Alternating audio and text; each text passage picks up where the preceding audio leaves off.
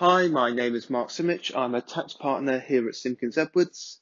This webinar is a brief summary of the temporary VAT reduction for those in the tourist and hospitality industry. So what are the new rules? Well, on the face of it, they're very simple. If you're in a certain sector, hospitality, hotel and holiday accommodation, or certain attractions, you can apply a temporary 5% reduced rate of VAT to certain supplies. The new rate applies from supplies made from the 15th of July 2020 to the 12th of January 2021.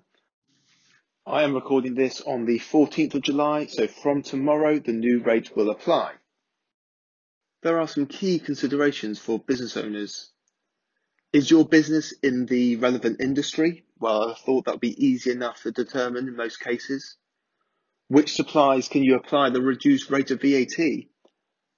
There'll be examples of some businesses that will supply multiple items, some of which will have different VAT rates, and we'll just we will explore that further in example in a moment.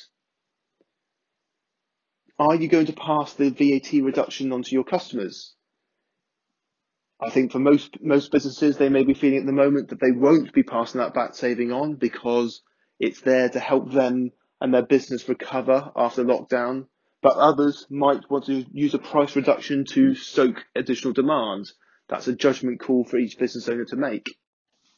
You also have to consider how you're going to account for the reduced rate of VAT using your software and what the implications will be for you if you are on the flat rate scheme for VAT. I would like to stress the importance of keeping accurate records, uh, particularly during this period.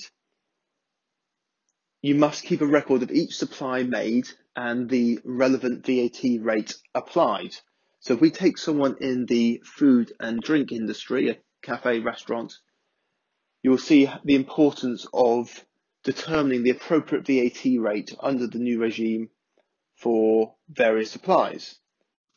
Our first example is a, let's say, cafe that orders, uh, that provides food and drink to someone to eat in at the premises. So we've got, what we've got here, a pint of beer for four pounds, soft drink two pounds, and two cold sandwiches for 15 pounds to eat in. Under the existing or previous rules, all of the above would be subject to 20% VAT. So the final sale price of the customer being £21 gross of VAT would be a net receipt of £17.50.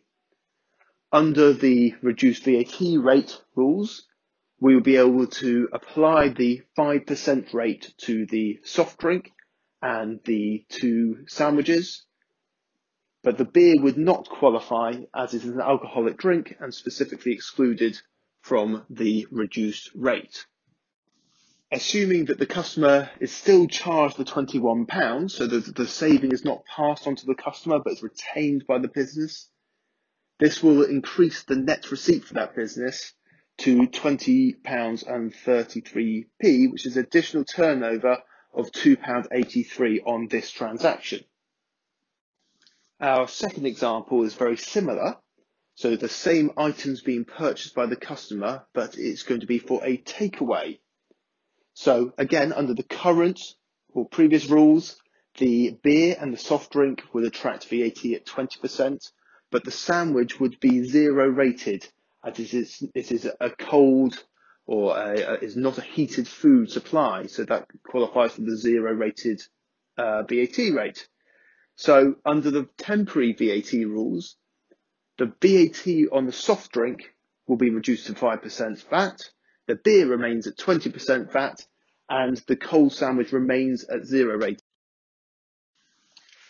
So you'll see as a business owner, you need to work out, you need to be able to record accurately what supplies you're making under which circumstances to make sure you apply the correct rate of VAT. I'm sure many of you are familiar with the requirements for business reporting under HMRC's Making Tax Digital MTD for VAT, um, where there's a requirement for businesses to keep um, electronic records. Now, there is a concession for retailers where HMRC acknowledge that it's not reasonable to record each individual sale and you are permitted to record electronically sales transaction data based on daily gross takings. At the end of the seminar, there are a couple of short videos to show you how to record the correct rate of VAT using both Xero and QuickBooks Online software. Those providing accommodation can also benefit from the reduced rates, provided they meet the, the criteria.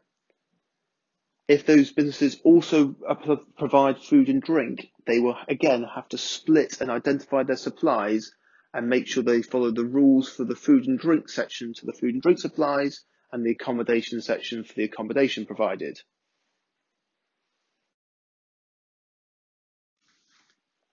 Various tourist attractions will also uh, qualify from the reduced rate. This includes shows, theatres, circuses, cinemas, exhibitions, and similar sorts of cultural events and, and associated facilities. Uh, sporting events are specifically excluded from the reduced VAT rate, and if the current supply is already an exempt supply, this takes precedence over the reduced 5% rate. So um, if you are currently providing exempt supply, you can continue to do so. We are currently still awaiting further detail on the implications for those on the flat rate scheme for VAT, but we've had confirmation that they will be adjusted temporarily to reflect the reduced rate. Um, like I say, we wait to hear the detail, but we expect this to apply to catering services, hotels and, and accommodation, and pubs.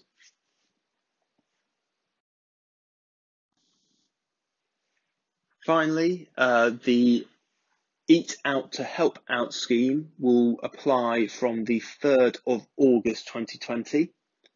So this is a scheme which can offer a 50% reduction or voucher equivalent to 50% up to a maximum of £10 per person to all diners for eating and drinking uh, non-alcoholic drinks throughout August every Monday to Wednesday.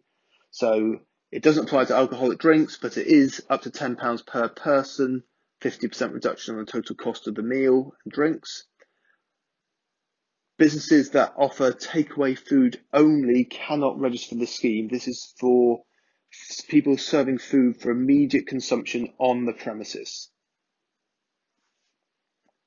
Claims will be made on a weekly basis um, customers don't actually have to bring a voucher with them. The business will simply reclaim the discounted amount through the online service. Um, you do need to register for the scheme online and you can do that now and the link is there on the screen for you. You will need to keep certain records again, including the number of people who've used the scheme, the value of the transactions under the scheme, and the total amount of discounts you've given if you are, have more than one establishment, you must keep records for each individual establishment. So that's just a quick whiz through of the temporary VAT reduction for the tourist and hospitality industry, um, which I hope you found useful. If you have any questions at all, please do not hesitate to contact someone at your local Simpkins Edwards office. Thank you very much.